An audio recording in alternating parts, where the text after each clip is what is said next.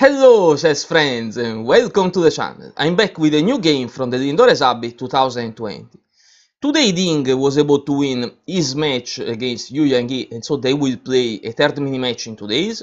Now it's time to talk about Nakamura and Aronian. Two days ago Nakamura won the first mini match, today he also won game 1, then game 2 and 3 ended with a draw and finally game 4, the game that we are going to watch together, is the last chance for Aronian to equalize and try to win the mini match with the Armageddon. Aronian with the white pieces must play to win. Let's get started. So Aronian opens with e4. Nakamura answers with e5. Knight to f3, knight to c6, bishop to b5, the Ruy Lopez. Knight to f6, the Berlin defense. Aronian goes out of the main lines with d3, defending the pawn, and now bishop to c5. Like in Wesley So versus Carlsen that you can find in the channel, here comes bishop captures on c6, the d pawn recaptures, and now short castle for white. This pawn is now really under attack, so black must find a way to defend this pawn. There are many ways, knight back, queen to e7. Nakamura chooses bishop to d6 that uh, is perfectly fine. Now bishop to g5 played by Aronian is pinning the knight h6 and bishop back to h4. Bishop to g4, same idea, pinning the knight, there is only one game in database, Firouzja versus Wang Hao, a draw played last year in December. So Firouzja in this position with the white pieces played h3, that is a good move. Aronian instead will play a novelty, another logical move, that is knight in b, moves to d2, adding a new protection to this knight, also developing a new piece. So here comes g5, the bishop is under attack, bishop back to g3, and now knight to h5. Nakamura wants to remove also the second bishop. Knight to c4, knight captures. Now in this position, let's pay attention because generally, without even thinking, we recapture with the h-pawn.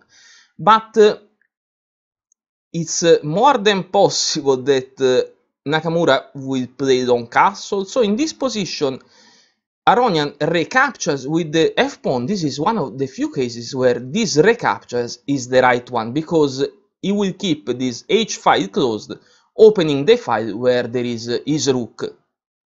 So good recapture.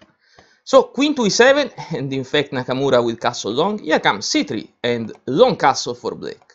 b4, king to b8, and, the, and in this position a3. So really I don't know why Aronian didn't play a4 but stockfish thinks that they are very similar so must be good. Here comes h5 knight back to e3 attacking the bishop is a good idea. Bishop back to c8 because Nakamura wants to keep his bishop. Another idea is to keep the bishop here and freeze because if white will capture the bishop then black will open the h file and in the meanwhile he can advance with c5, advancing the double pawn. Anyway, they are both good ideas and different ideas. Here comes c4, and now a really important moment of the game because uh, we notice that uh, this bishop is almost trapped. Uh, so um, it seems that black must move away the queen to give some room to the bishop. Nakamura instead continues with the provocative f5 and this move is a trap, but it's also a mistake. Now, what happens if white plays c5? Let's watch this variation not played by Aronian, because Aronian will not fall into this trap. Now, c5 wins the bishop, but is a mistake, because black captures on c5, the b-pawn recaptures. Now, f captures on e4, and white can't capture because the rook is pinning the pawn, knight back to d2, queen capture, see, queen captures on c5, not only attacking and pinning this unprotected knight, then the rook will capture on d3, and this is a disaster. So, winning the bishop will lose the game. So, let's go back to our f5, but this is a mistake because Aronian doesn't fall into the trap, but captures with the knight on f5 with tempo against the queen. Now bishop captures on f5 and the pawn recaptures on f5. e4, this was uh, uh, the second Nakamura idea. Now, of course, white can't capture the pawn or the queen is lost because after d captures on e4 there is bishop to c5 check and discovered attack against the queen. After e4 also knight back to d2 is not a good idea because here comes e captures on d3 with a strong position for white. Let's watch the last line and then I will stop uh, bothering you after e4 also knight to d4 probably this this is one of the worst ideas because here comes bishop to e5 and there is no way to protect this knight. So after knight to e6 rook captures queen to e1 and of course black will win the exchange so after e4 it seems that everything is lost but there is a simple idea in fact uh, Aronian defends the position just pinning the pawn to the queen.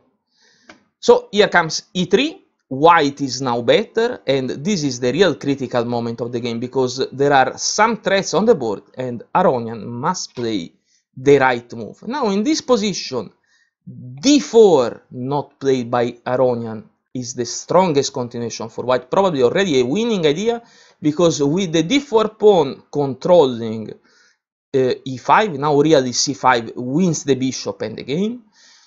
If the queen moves away, black must pay attention because the queen is protecting this uh, pawn. So uh, if it moves in this direction, then e3 is lost.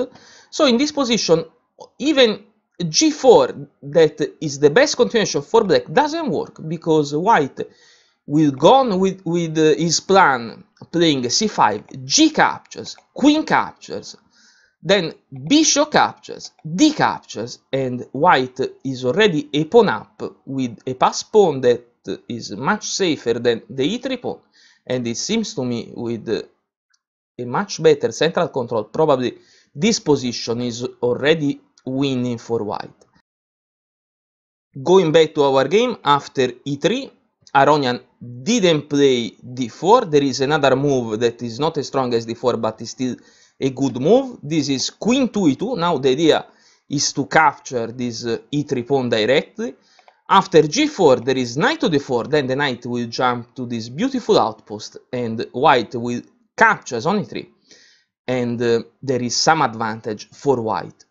Going back to our game, after e3, Aronian instead doesn't play d4, doesn't play queen to e2, he plays a strange move, queen to e1, probably the idea is to capture e3 with the rook with tempo against the queen. F, and if uh, black advances this pawn the second idea is to capture with the knight on g5 now protected by the queen. But uh, this is a mistake because uh, um, Nakamura doesn't advance the pawn but continues with g4 first. Knight to h4 now there is the knight jump that uh, is a winning fork. But here comes rook to e8 and now the pass pawn is protected.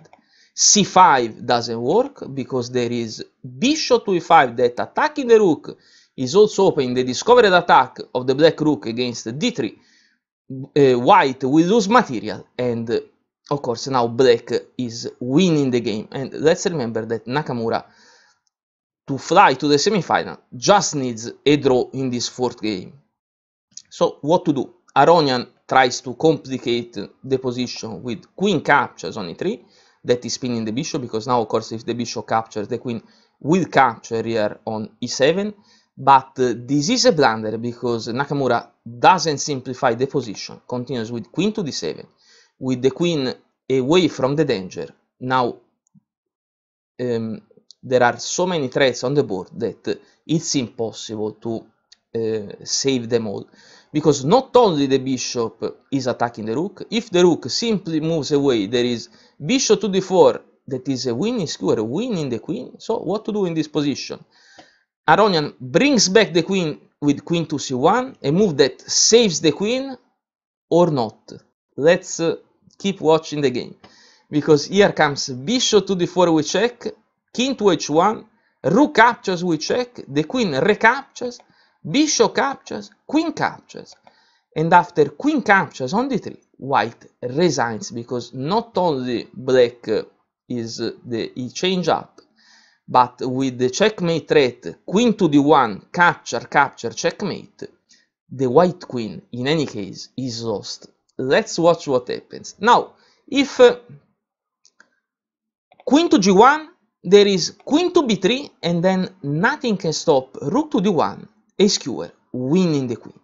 Going back to our queen captures on d3 where Aronian resigned, if king to g1 with the idea of uh, preventing this uh, checkmate escaping with the king to f2, there is queen to b3, again um, rook to d1 wins the queen, so king to f2, but now rook to d2, check, king to e1, queen to e3, king to f1, queen to f2, checkmate.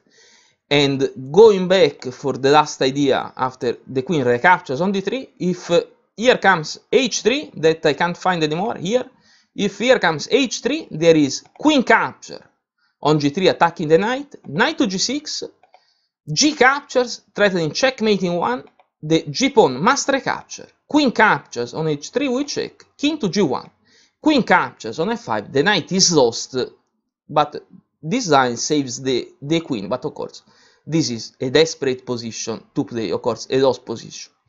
So Nakamura goes to the semifinals with merit, I say, because he's playing very well. He, also, he always play very well in these uh, online tournaments.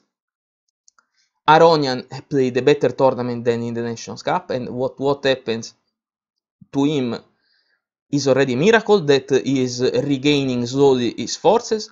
Tomorrow there is Carlsen versus Wesley So in Duda versus Karyakin. Don't forget to subscribe to the channel and of course we will meet tomorrow. For now, thank you very much for watching and goodbye.